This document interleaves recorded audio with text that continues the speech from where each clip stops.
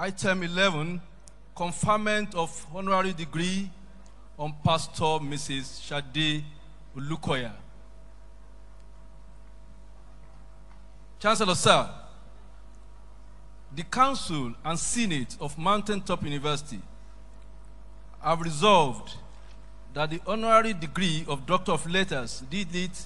honoris causa, of the university be conferred on Pastor Mrs. Shade Olukoya, the wife of Pastor Dr. Daniel Kolawole Olukoya, founder and general overseer, Mountain of Fire and Miracle Ministries worldwide. I therefore invite the university auditor to present the citation of Pastor Mrs. Shade Olukoya for the honorary degree. University auditor.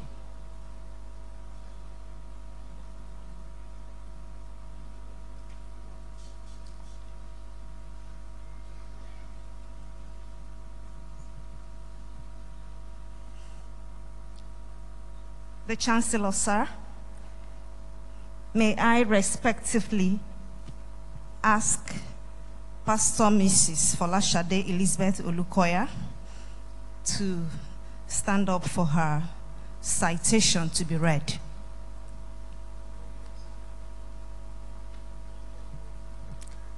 Chancellor, sir,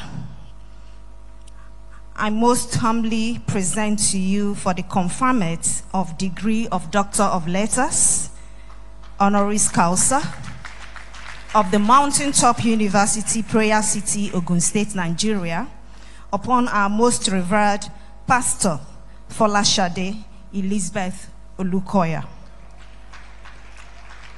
A woman with many caps and sterling qualities, who is the amiable wife of Pastor Dr. Daniel Kolawole Olukoya, the General Overseer of Mountain of Fire and Miracle Ministries worldwide. Pastor Folashade Elizabeth Olukoya was born into the family of Pa and Ma George Folusho Adesanya as the fifth of seven children who were all brought up in the Christian way at the Christ Apostolic Church.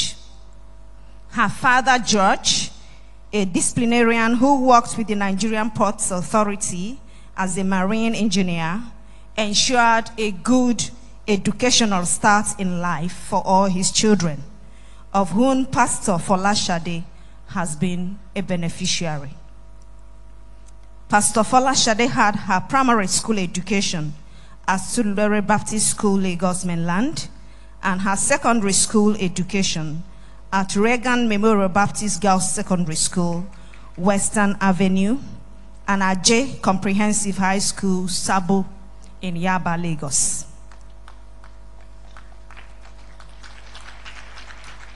She proceeded to study for a diploma in fine arts, fashion and textile design, and interior decoration at the VCA Home Learning in United Kingdom.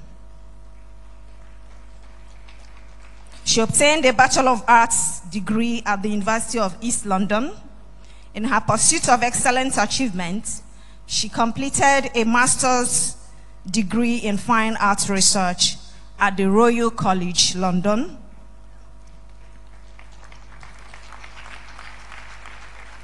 She is currently engaged in her PhD program at the Royal College of Arts, UK. As a child, she developed an uncommon interest in creativity and preservation of the natural habitats, which kept her wondering about God and his works of creation. Encouraged by her parents, Mrs. Fola Shade Olukoya discovered and realized her artistic gift in imaginative composition, which she cites as a gift from God as it continues to help her art career grow in leaps and bounds. Mrs. Olukoya serves as a non-stipendiary clergy and resident artist at the Mountain of Fire and Miracles Ministries, Nigeria. Anyone who has read the over 500 books authored by the General Overseer of the Mountain of Fire and Miracles Ministries, Dr. Daniel Olukoya, can attest to not only the depth of spiritual wisdom rooted in those books, but also the artistic illustrations that grace their covers. The imaginative designs of the book covers often come with exceptional glaze and precision that can trigger the inquisitiveness of any avid reader. The brain behind these numerous striking illustrations have been no one but Folashade Olukoya.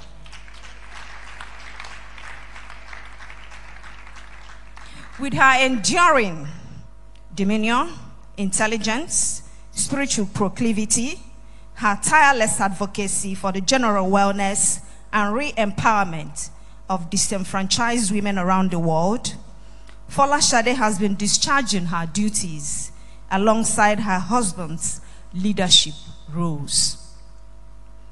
She has been a resourceful helper, helping him to dress and to keep the vineyard. This has expanded the growth of the church tremendously for the past 30 years, 32 years actually. But despite her ministerial role in the church, she's often described as a woman of many hearts. Perhaps because she has been impeccably combining her ecclesiastical responsibilities with writing and visual artistry in the field of art studies. Her engagement with multidisciplinary research, her acts through her works of art and empowerment programs that she exhibits home and abroad continue to contribute to humanitarian relief and betterment of life for women's re-empowerment. Recently, she engaged in a collaborative arts and science project organized by the Royal College of Arts London for the Great Exhibition Road Festival, where her insightful body of works on women and trauma quickly became the focal point for academics and practitioners from various fields of expertise. Her research projects and contribution to arts and humanities and her teachings within the Christian communities continue to inspire women in the religious and academic sectors. Based on over 25 years' experience as a trained Christian counselor, Mrs. Fola Shade Olukoya has her major focus on creating reliefs for traumatized women. Her research, thinking, aims and continuous contribution towards the general wellness of women tend towards her simple argument, and I quote, my specific deployment of the term re-empowerment in preference to the more commonly used empowerment is designed to highlight the ways that many women have been dispossessed of power over time through a social and historical process. End of quote. She will be the first to specify that re empowering women to fully actualize their potentials is key to nation building. In her innovative competence, Fola Shade's unmatched contributions towards the development of women, both in MFM and beyond, is phenomenal. With a career in fashion arts, pastoral care, and women empowerment, she has been using her God given talents and abilities to provide solutions that have been addressing most pressing needs of women across the globe.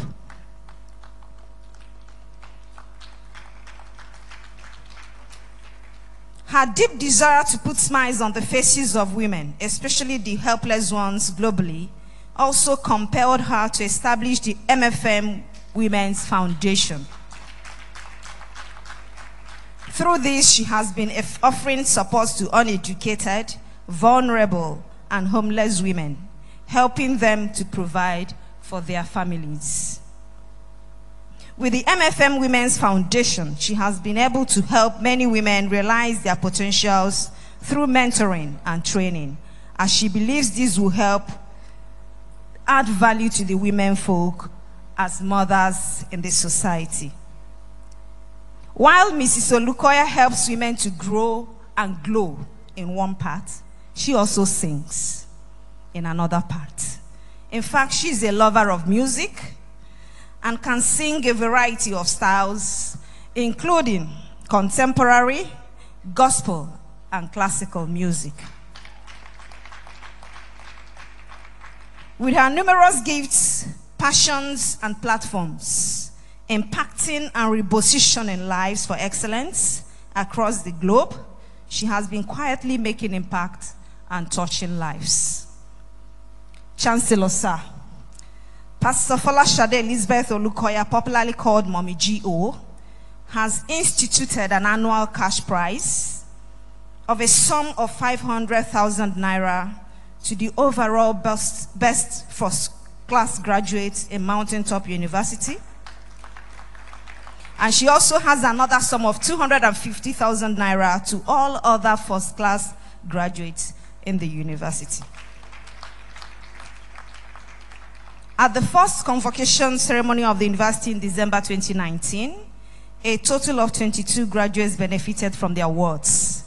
And today, a total of 45 graduates will benefit from this award. Pastor Fola Shade Elizabeth Olukoya is a prolific writer. She has written many books. Notable among them are Violence Against Negative Voice, When Your Destiny is Under Attack, Woman of Wonder, The Call to God, and Principles of a Successful Marriage. Pastor Fola Shade Elizabeth Olukoya is a virtuous and a great woman. She has been a blessing to many lives, a pillar of support to her husband, as is obvious by his statements now and again. They are blessed with a lovely son, Elijah Toluwani. Chancellor, sir, it is this compassionate, well respected individual who offers matriarchal approach to others, ensuring inclusiveness across diverse range of cultures, ages, backgrounds, an exceptional philanthropist, exemplary and upright model of a Christian, model of love, model of dedicated service to humanity, that I ask you in the name of the Council and Senate of Mountaintop University, Prayer City, Makogi Oba, to receive an honor as a member of the university, holding the degree of Doctor of Letters honoris causa.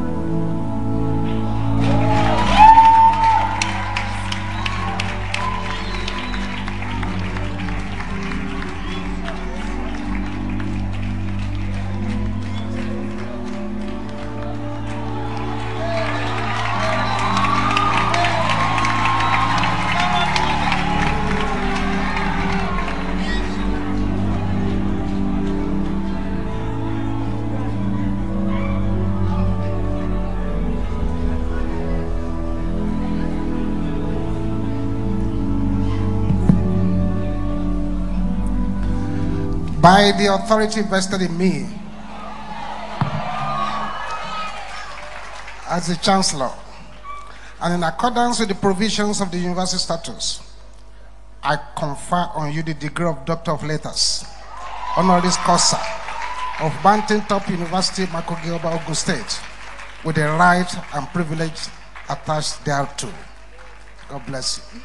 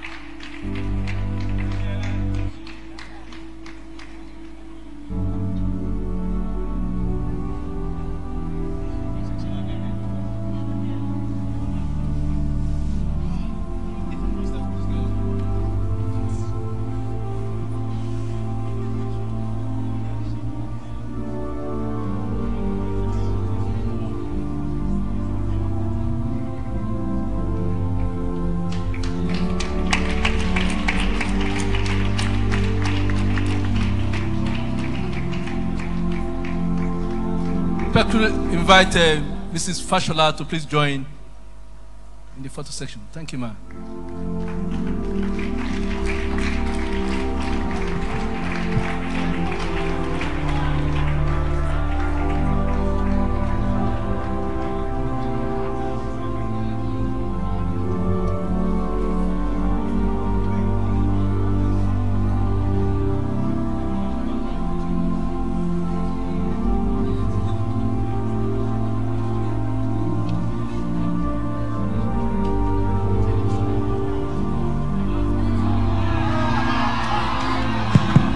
Like to request the assist, the AGOs to please join the AGOs. Kindly join for the photo sessions.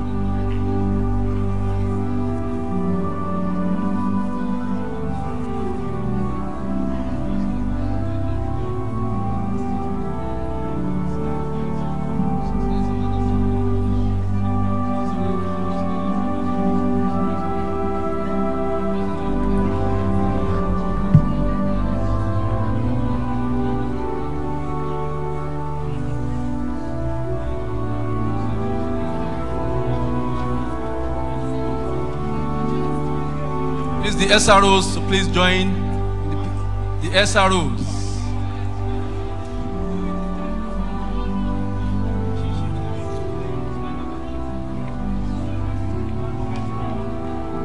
The SROs, please.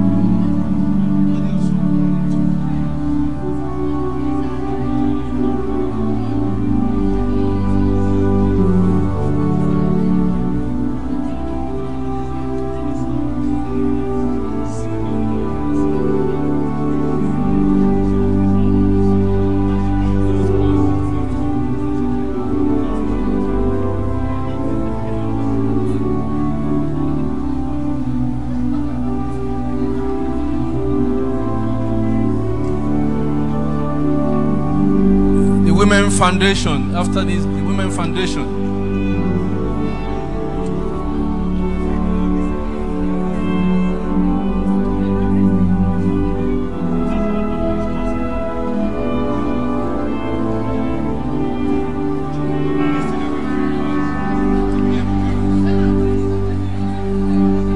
Women Foundation.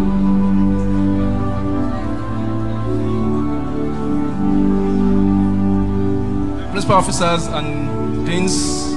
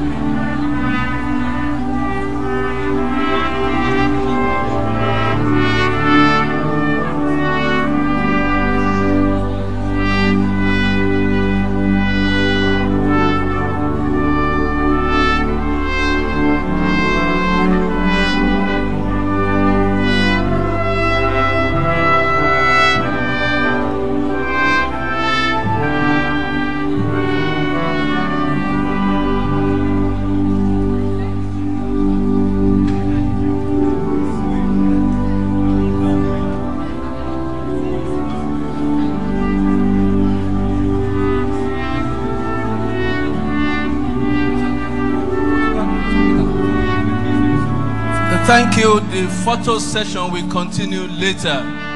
Thank you. Photo session will continue later.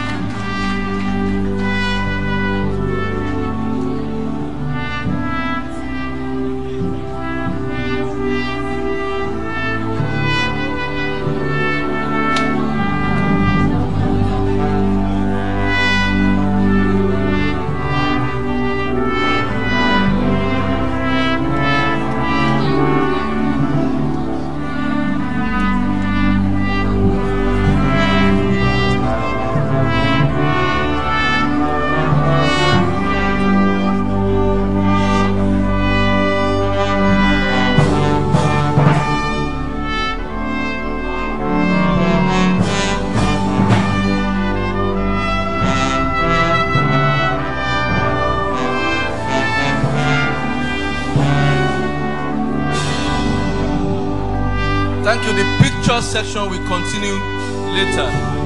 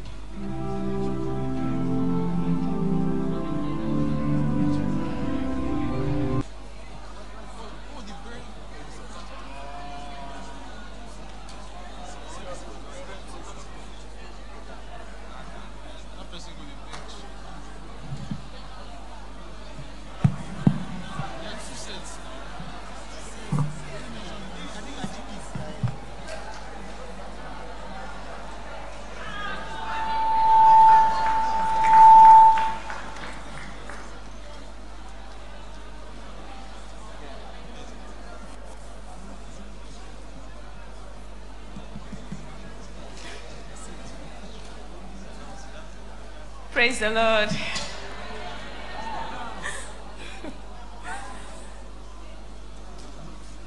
I'm very grateful to God for a day like this.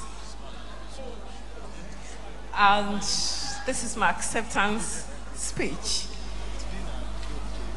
The chair of the Board of Governors, the Vice Chancellor, the graduates, ladies and gentlemen, on behalf of my amiable husband, the General Overseer of the Mountain of Miracles Ministries worldwide, Dr. Daniel Kolawole Olukoya, the pastorate, and the entire members of the Mountain of Miracles Ministries, I'm most privileged to receive this honorary doctorate award from the Mountaintop University. An institution, the Mountain of Miracles uh, Ministries, um, is an umbrella under which um, this great vision was conceived. Today, we can say the Mountaintop University is an institution that started barely six years ago and has now grown in leaps and bounds and continued to flourish. It never ceases to amaze me, having learned about the huge part this university play in boosting the egos of the students, giving them the necessary help they need to actualize their potentials and to showcase their talents beyond the confines of the university. Not many people have this privilege, and not all institutions have the capacity to facilitate these life changing offers. I'm honestly delighted to have been part of this great commission from its inception. It's great honor to see that the inner impulse of my humble contribution is so clearly perceived and appreciated. Thank you. For this, I would like to express my sincere gratitude, especially to the Board of Governing Council of the Mountaintop University and the University Management. I'm aware that the honor that has been conferred on me today comes with a corresponding commitment to share my knowledge and skills. God helping me, my contribution to the advancement of the cause of humanity and continual support towards the desired expectations of this great institution is a signed deal.